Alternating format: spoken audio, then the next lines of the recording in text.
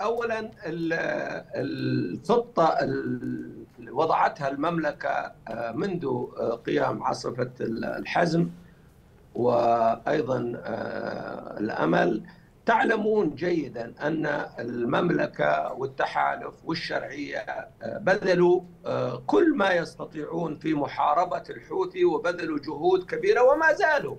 وما زالوا. وهذا بتوافق يمني بطلب يمني وبناء على قرارات شرعية دولية. ولم يتغير شيء في هذا. وتأخير حسم المعركة هو بالأسف حصل بسبب هذه الخلافات اليمنية اليمنية. يعني هنالك من يحارب وهنالك من يتراجع هنالك من يحاول أن يحسم مصير منطقته أو يحسم مصير حزبه قبل إنهاء المعركة. وكان بعضهم يتراجع. ويعني تعرفون القصة لا نريد أن ندخل بتفاصيلها. وتحرير الأوطان أخي الكريم يتم عسكريا ويتم سلميا ويتم بالمفاوضات أحيانا ويتم. لم يقل أحد لا في المملكة ولا التحالف ولا الشرعية.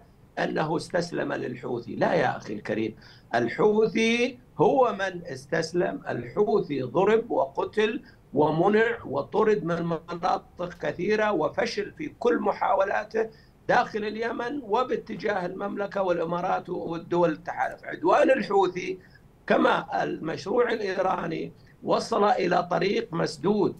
علينا أن نستمر موحدين في في مكافحته. وهذا ما تفعله الآن الشرعية، الجنوب ممثل بالشرعية، المؤتمر ممثل بالشرعية، الأحزاب الأخرى كلها ممثلة بالشرعية بهذا المجلس، والمعركة لم تنتهي، لا نستطيع أن نقول إذا احتلت جهة أجنبية أو تواطأ معها بعض أبناء الوطن واحتلوا جزء من البلد هل يعقل أن نقول نحن نحرر نصف البلد ونقيم عليه دولة ونترك القسم الباقي؟ لا، صحيح أنه المعركة ما زالت طويلة أو طالت مع الحوثي أو مع المشروع الإيراني